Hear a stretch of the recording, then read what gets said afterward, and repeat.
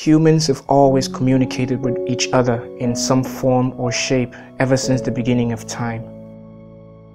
Today, smartphones, tablets, and personal computers serve as our gateways to an increasingly connected world. To think these mobile devices were mostly considered a luxury only a few decades ago is a testament to our species' innate ability to rapidly develop new solutions to challenging problems in our ever-changing society. Now, before we can move forward into the new age of communication technology, I believe it would be prudent to take a step back and consider what the problems were in the first place and how they led us to the connected society we see today.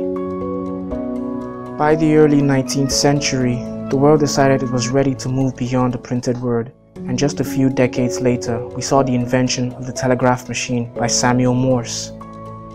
Initially, due to the sheer number of people sending and receiving calls at the time, companies had to use manual telephone switchboards and switchboard operators who connected calls by inserting a pair of phone plugs into an appropriate jack. That was until the automatic telephone exchange was invented by Almon Strowger in 1888. His invention gradually replaced manual switchboards in central telephone exchanges around the world. From there, we continued improving upon the devices and components that made up our communication networks until we got to where we are today. Current smartphones have more processing power today than the computers that sent Apollo 11 to the moon. The average cell tower handles over a thousand voice calls simultaneously while also providing data services to every customer in its coverage area. Considering all of this, it would be a gross understatement to say we've come far in the last 20 years.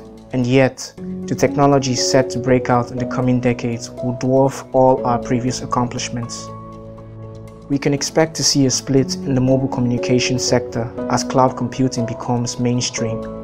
This basically means the mobile devices of the future will use a network of remote servers hosted on the internet to store, manage, and process data Battery technology is also slated to make a giant leap, with hundreds of companies and researchers from around the world competing to bring us batteries that charge in minutes and last for days.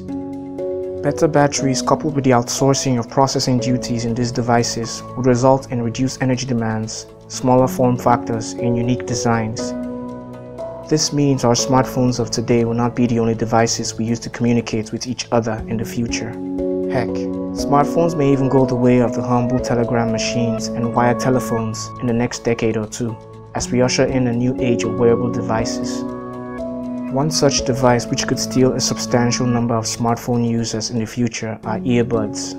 We already see and use them every day in tandem with our phones for playing our favorite songs and responding to calls, but they will do much more than that in a couple of years. An audio-based in-ear communication device is completely possible in the near future and would be the go-to option for people who want access to their contacts but don't need to see all the social media clutter.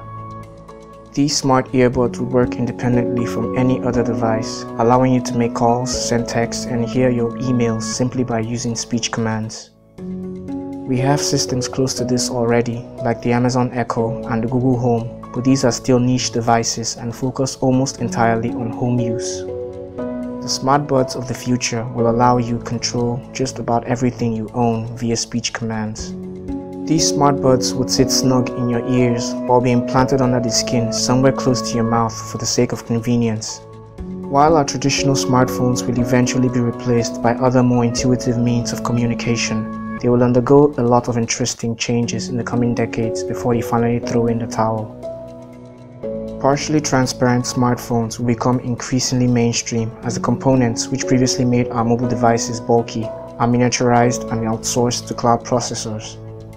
Glass smartphones are not even far-fetched in our current time, as Taiwan-based Polytron Technologies developed a prototype which uses what they call switchable glass technology. The conductive OLED screens uses liquid crystal molecules to display images, when the screen is off, the molecules align to form a milky composition, but switched on, they realign to form text, icons, and other images. Flexible smartphones that could wrap around our wrists or even fold like a piece of paper into our pockets are set to become mainstream as well. This is one of those technologies we could see even sooner given that the Samsung boss has said this company is aiming to launch a bendable phone sometime this year. The last and possibly most promising mobile communication device we'll discuss is augmented reality. Now, augmented reality is the integration of digital information with live video and the user's environment in real time. A good example of this is a popular game from Sony called Pokemon Go. Up until this point, AR has only been applied in closed systems by several companies like IKEA, Microsoft, Google, and Apple, but it could turn out to be the biggest change we see in the mobile sector. Dare I say, an even more drastic change than switching from those old brick phones to multi-touch displays of today. It's a big claim, I know, but given AR's potential to radically change even our most basic forms of interaction, it's a claim I feel will come to fruition, and soon.